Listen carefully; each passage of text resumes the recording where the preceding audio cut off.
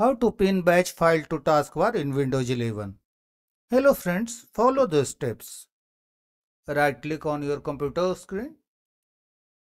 Go to new. Select shortcut. Here type cmd space forward slash inverted commas twice and space. Now go to the batch file. Right click on the file explorer icon. Select file explorer. Go to the folder where uh, the batch file is located. On my computer, this is the batch file. Right click on the batch file. Select copy as path. Paste this path here. Click on next. Change the name. Click on finish. Now you can drag this shortcut to the taskbar.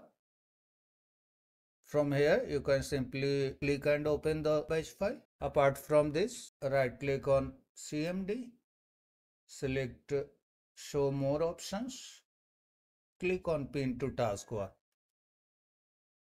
This is pinned. You can pin the same to the start, right click, select pin to start. That's all friends. Thanks for watching the video.